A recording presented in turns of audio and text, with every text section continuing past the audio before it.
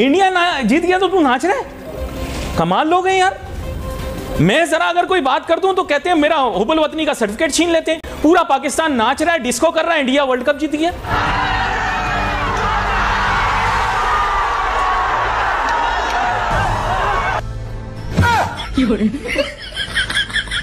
उन्होंने जिस तरह की मैंटेलिटी मैंने ऑब्ज़र्व की, वहाँ पे मुझे आइडिया हो गया कि ये टीम तो क्या इन, इसके बाद आने वाली टीमें भी कोई वर्ल्ड कप नहीं जीत सकती, कोई बड़ा टूर्नामेंट जीत नहीं सकती। शौक लगा ये सुन के कि जब मैंने पूछा कि वर्ल्ड कप में जा रहे हैं, क्या माइंडसेट है आपका? उन्होंने कहा कि आपको पता है हम तो दुआओं से जीतते हैं।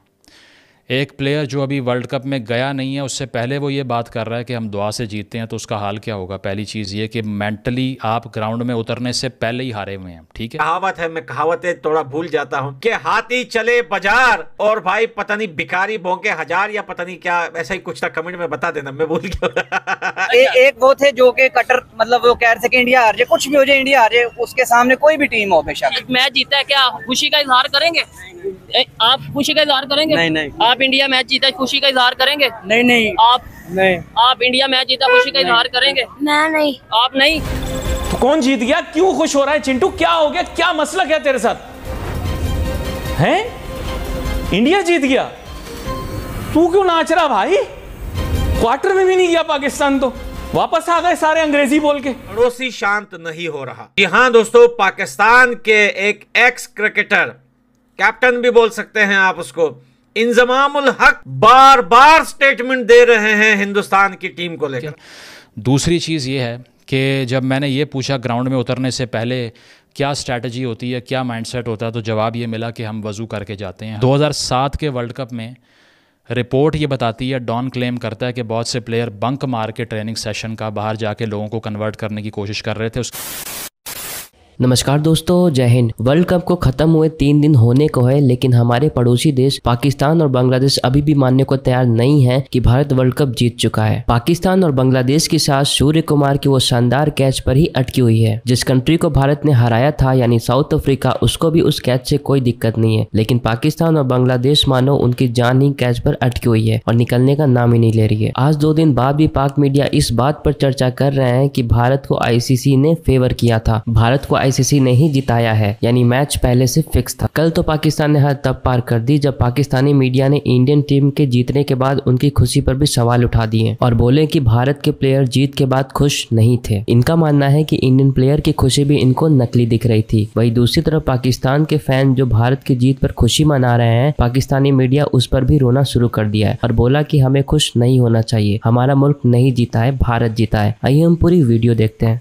मैं आज से कुछ अर्सा पहले दो पाकिस्तान टीम के प्लेयर्स से मिला और उसमें एक उस वक्त के वाइस कैप्टन भी थे, आपको मालूम होगा कि इनकी बात कर रहा हूँ, नाम लेना मुनासिब नहीं है। उन्होंने जिस तरह की मैंटालिटी मैंने ऑब्ज़र्व की, वहाँ पे मुझे आइडिया हो गया कि ये टीम तो क्या इन, इसके बाद आने वाली टीमें भी कोई वर्ल्ड कप नहीं जीत सकती, कोई बड़ा टूर्नामेंट जीत नहीं सकती because mentally they were so all over the place कि मुझे शौक लगा ये सुन के कि जब मैंने पूछा कि वर्ल्ड कप में जा रहे हैं क्या माइंडसेट है आपका? उन्होंने कहा कि आपको पता है, हम तो दुआओं से ही जीतते हैं। एक प्लेयर जो अभी वर्ल्ड कप में गया नहीं है, उससे पहले वो ये बात कर रहा है कि हम दुआ से जीतते हैं तो उसका हाल क्या होगा? पहली चीज़ ये कि मेंटली आप ग्राउंड में उतरने से पहले ही हारे हुए हैं, ठीक है? दूसरी चीज़ ये है कि जब मैंने ये पूछा ग्राउंड में उतरने से पहले क्या स्ट्रैटेजी होती है, क्या माइंडसेट होता है तो जवाब ये मिला कि हम वज़ू करके जाते हैं। हालाँकि मैंने कोई मजहबी सवाल नहीं किया, उन्होंने भी कोई गलत जवाब नहीं दिया, लेकिन इससे उनकी इनोसेंस का अंदाज़ा लगाइए कि वो क्रिकेट की क्राफ्ट में और अपनी आइडियोलॉजी में फ़र्क ही नहीं कर पाते। कोई प्रेस कॉन्फ्रेंस उठा के देख लीजिए, कोई सेंचुरी भी कर दी हो किसी प्लेयर ने, पाँच आउट कर दी हो, उसे एक्सप्लेन नहीं करना आता कि मेरा प्लान क्या था ग्राउंड में। वो ये बता नहीं पाता कि ग्राउंड में जो मैं कर रहा था, उसमें मैंने क्या मेथड अप्लाई किया।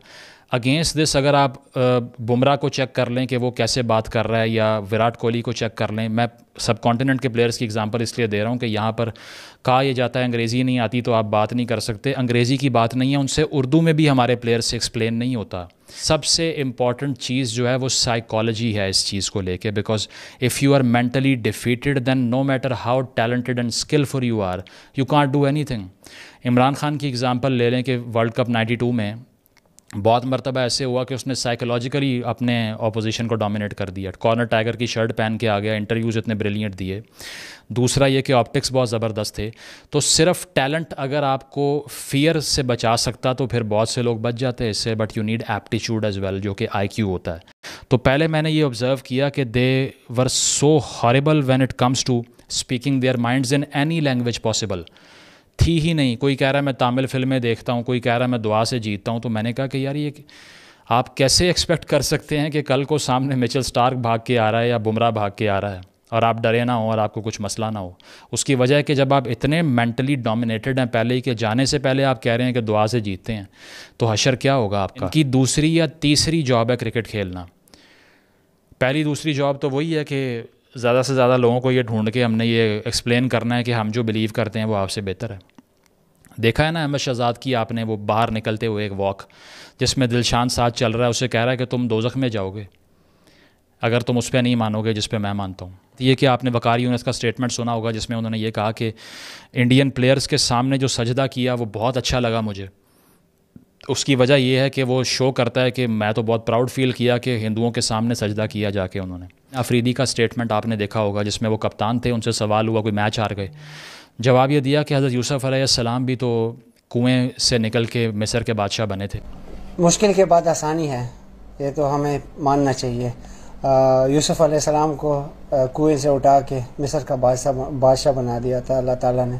They have completely lost their strategizing brains in the face of ideology they can't separate the two at all because it is unfortunately the condition of the entire society 2007 के world cup में report ये बताती है don claim करता है कि बहुत से प्लेयर बंक मार के ट्रेनिंग सेशन का बाहर जाके लोगों को कन्वर्ट करने की कोशिश कर रहे थे। उसके बाद टीम में क्लॉज में ये लिखवाया गया सेंट्रल कॉन्ट्रैक्ट में कि हम आइंदा से इन प्लेयर्स को पॉलिटिक्स और मज़हब पे बात नहीं करने देंगे, यहाँ तक सूरत हाल आ गई। मतलब ये आप, मुझे समझ नहीं आती कि कैसे इश्तहारों में इनको ले रहे हैं और किस तरह से आपने इनको चैम्पियन बना के पेश किया हुआ है। साथ साथ ये कि धोनी ने कहा था, मुझे याद है the capacity to translate vision into reality is leadership vision को रियलिटी में ट्रांसलेट करना क़्यादत है लीडरशिप है कैप्टनसी है।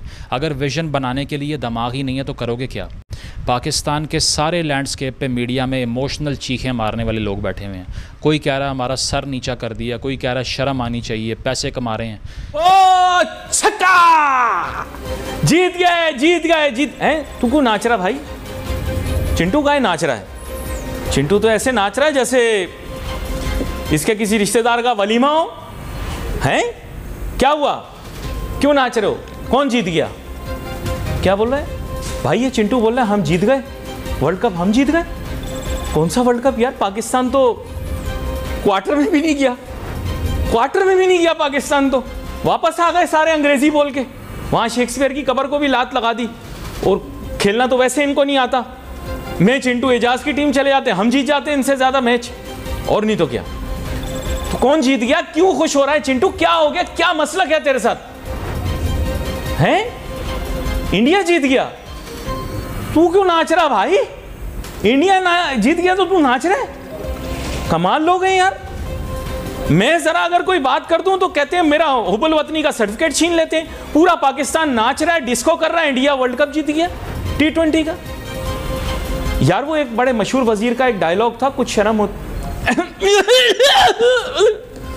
मुझे यह समझ में नहीं आती कि जिन लोगों को अपनी शनाख्त का पता ना हो कि उनकी क्रिकेट टीम दरअसल पाकिस्तान की क्रिकेट टीम है, वो मुझे बता रहे होते हैं कि हुबुल वतनी क्या है, मुहिब वतन होना क्या होता है।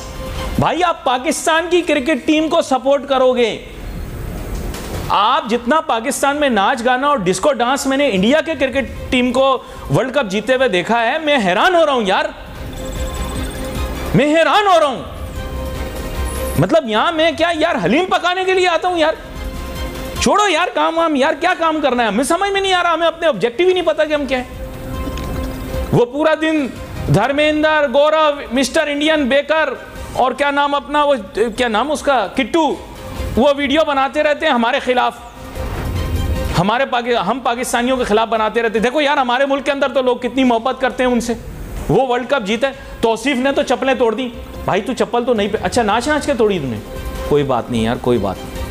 चल, कोई तो बोल रहा है मेरी टीम जीत गई। देख, क्या बोल रहा है? कह रहा है मेरी टीम जीत गई वर्ल्ड कप। ये टीम पाकिस्तान की टीम है।